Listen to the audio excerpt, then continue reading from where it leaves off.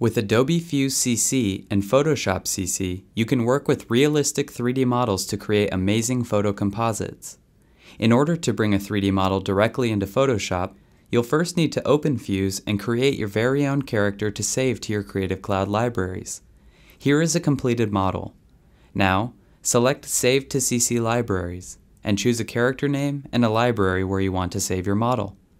Fuse packages and exports the character to make it available in your Creative Cloud libraries. Now, open Photoshop. In the CC Libraries panel, choose the library that your model is saved to. Double-click the character to open her in a new 3D document. You can increase the image size of your document to get a larger, clearer view of your 3D character. Next, switch to the 3D workspace by choosing it from the Workspaces menu in the upper right. If you're not familiar with the 3D workspace, you'll mainly be working with three panels, the Layers panel, the 3D panel, and the Properties panel.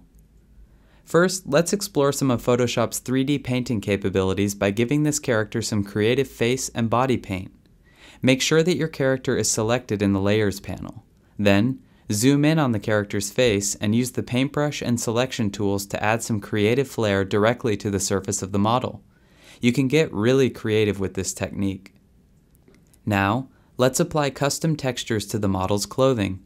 In the Layers panel, click to expand the texture layers that make up the 3D model. Find and double-click the top diffuse layer. A new file opens that shows the clothing mesh and the current texture applied. Use Adobe Stock or your own personal photos to place new designs directly on top of the mesh. Then click Save. When you close the file, notice the new textures are applied to the model's clothing. Once again, there's no limit to how creative you can get with these techniques. Now let's place the character in a realistic 3D space. I'll place a photo of a simple scene into the composition's background. Next, you'll need to orient your 3D model naturally into the background. Select your character in the Layers panel and then open the 3D panel. Select the skeleton component and use the 3D transformation tools to rotate, scale, and adjust your model to match the environment. When you're satisfied with the character's positioning, adjust the lighting of the scene to match. Select the light icon on the canvas border to activate the light, and rotate it to the perfect position. Now that the character fits the scene, you can find a dynamic pose to add some action to the image. In the 3D panel, select the skeleton component. Now, in the Properties panel, select the body icon. Here you can browse through thousands of poses and animations for your model. You can also search through the collection to find the one that you like. Click to apply the animation or pose to your model.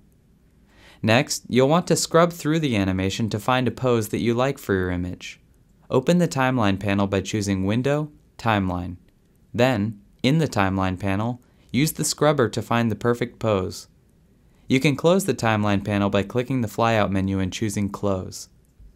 Finally, select the face icon in the Properties panel to browse through a number of facial expressions to give some personality to your character. When you've found an expression you like, scroll down to adjust the strength of the expression and the angle and position of the head and eyes. Where you go from here is only limited by your imagination. Use any and all of Photoshop's rich and powerful editing capabilities to add the finishing touches to your design. There's no limit to what you can create, and the best part is that you can keep making changes to your composition. Whether you want to repaint the model, readjust the lighting, or choose a new pose or animation to fit your model into a new scene, it's all possible with your fully posable 3D model.